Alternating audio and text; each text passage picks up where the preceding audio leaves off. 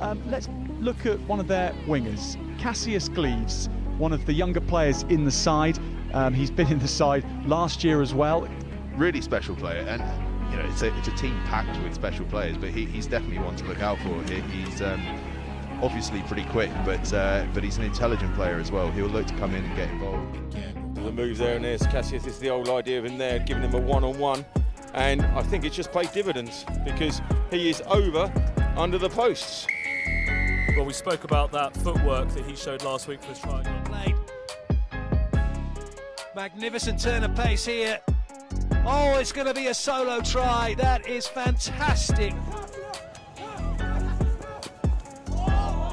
Uh, their 22 good footwork stands up his opposite number. There's support there as well from Bryn Bradley, who finds that man, Cassius Cleaves, who's been involved in absolutely everything brilliant.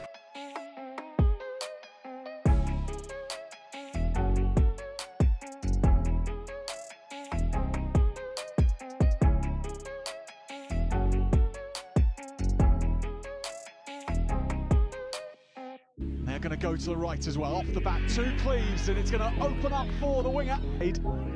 Over on the right-hand side, and Wellington could be in again, opening up, and now Teague, he has Cleaves, who's going to gather, and he's going to have a first-half hat-trick of pure class.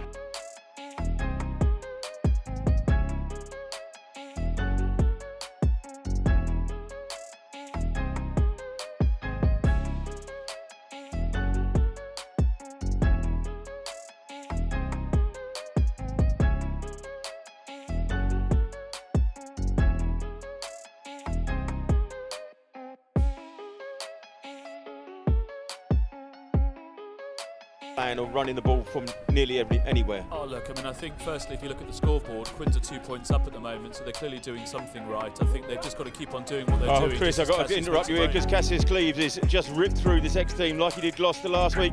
A great break there by Cleaves. This is definitely one for the future. And it's in the hands of that danger man, Cassius Cleaves, who breaks once again. He steps, he wheezes, he's got one man to beat. Can they stop him? No, they can't.